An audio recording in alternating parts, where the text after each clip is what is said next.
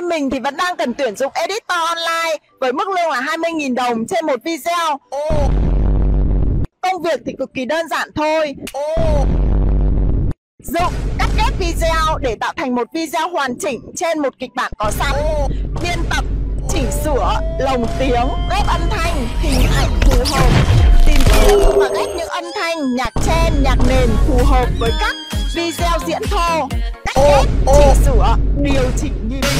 Nhịp nhịp nhịp nhịp phối hợp tham gia giữa các khâu và tham gia cùng với các bạn cùng team.